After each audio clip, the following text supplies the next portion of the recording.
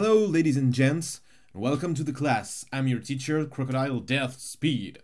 As you know if you watched the trailer, or as you could have guessed uh, by reading the video title, today's lesson will be about memes and more precisely, what exactly is a meme? We're gonna define the term that for some of you may be mysterious, for some of you may be familiar, but I hope that both of you can learn something in today's lesson, Memeology 101.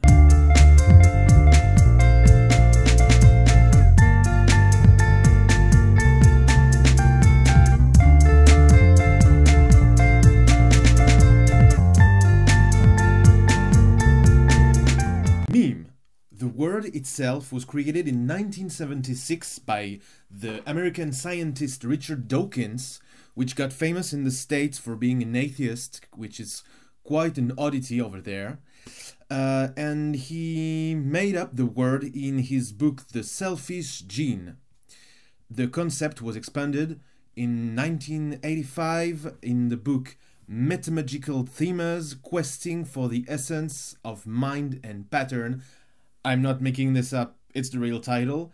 By Douglas Hofstadter. The meme, in its original scientific meaning, is now recognized as uh, one of the key concepts of anthropology, or at least that that is what Wikipedia says. The word itself uh, is based on the Greek word mimema, meaning uh, imitation, and which gave us the verbs such as mimic or mime, and modeled after the word gene.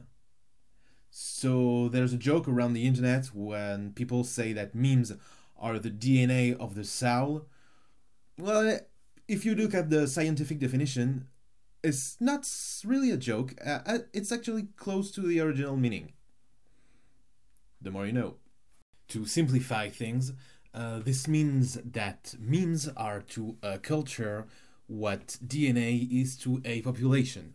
It's, it's a simplification, but it gives you the idea.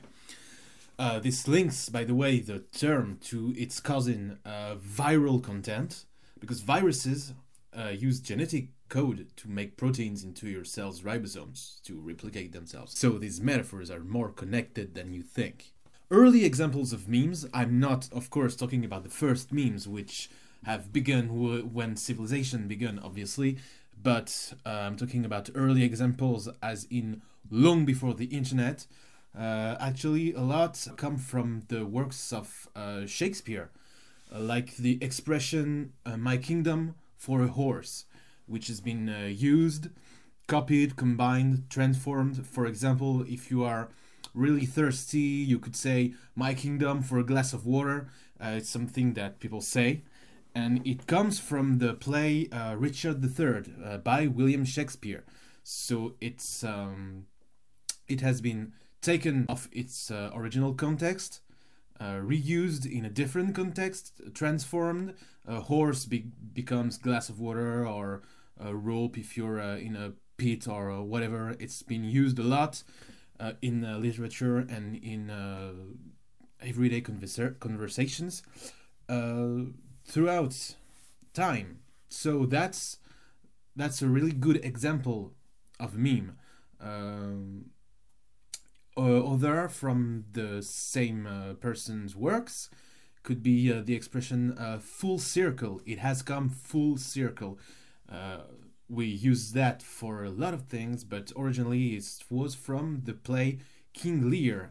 And uh, if you just met someone and don't know how to begin conversation, you might have used an icebreaker.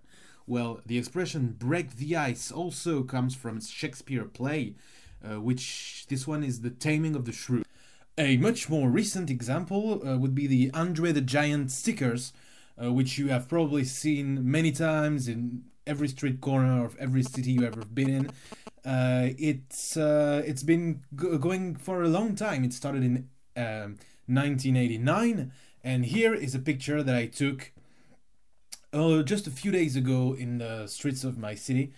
Uh, I didn't put the sticker myself, I just found it and uh, it was created by a, a young uh, um, graphical artist uh, as a kind of a joke and uh, it it went viral. F- funny thing about this one is that uh, some years later he had to re- redesign it to um, make it more distant from the original personality of uh, Andre the, the Giant.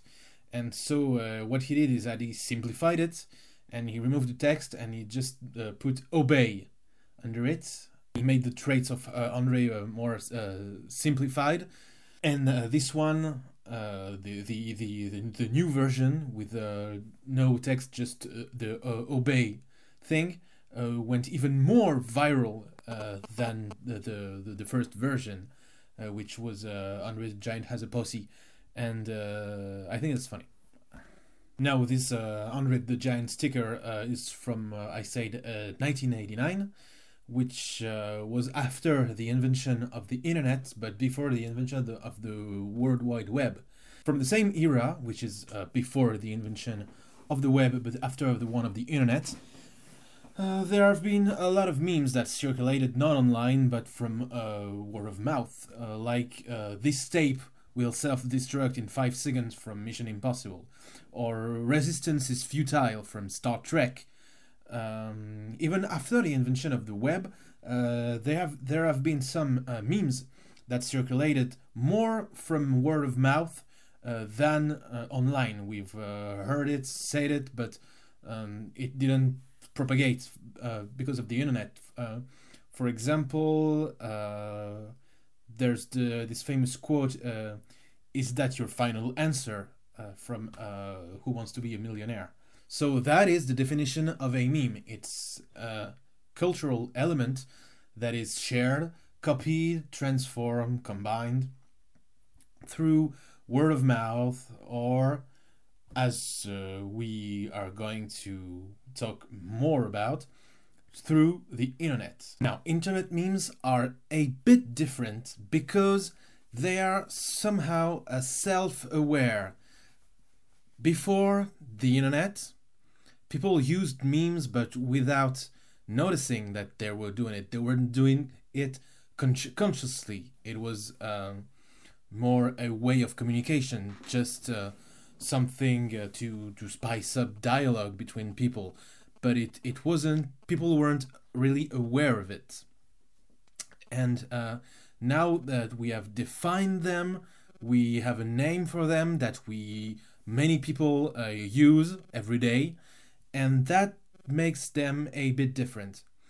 Uh, some people also think that uh, they are different because they are transmitted mainly through technology and uh, they exist more in our computers than in our minds and uh, these people proposed the term teme uh, T-E-M-E, uh, the T for technology but that did not catch on at all because that was stupid uh, because when we talk about the internet, we're not talking about technology.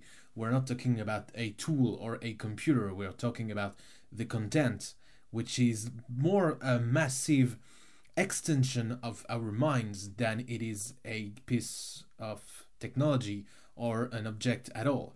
Now that they're not limited by word of mouth or physical supports, uh, memes have kind of uh, expanded and they can be image, text, music, video, or any combinations of this.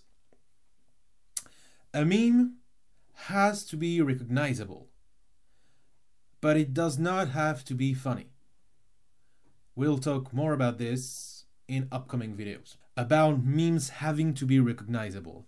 There is, especially since 2015, a big trend of uh, that some have dubbed the post meme era, where meme has a larger meaning and is used for a lot of stuff, such as uh, shitposting and AUMMs, and it kind of transcends uh, the concept of memes as we talked about it. We're not going to talk about this on this channel. At least if we do, it won't be soon. Uh, because this channel is more about the history of the internet and the history of memes and uh, I don't really want to talk about recent trends because uh, I don't really like the idea of talking about events as they are unfolding. The post meme era is still really in flux and hasn't solidified yet, so I'm not going to talk about it anytime soon. I would rather look at the past to see how things were and how they have evolved. And uh, talking about looking at the past, this is uh, where we are heading in our next video, where we are going to talk about the very first internet memes, how it all began. Stay tuned.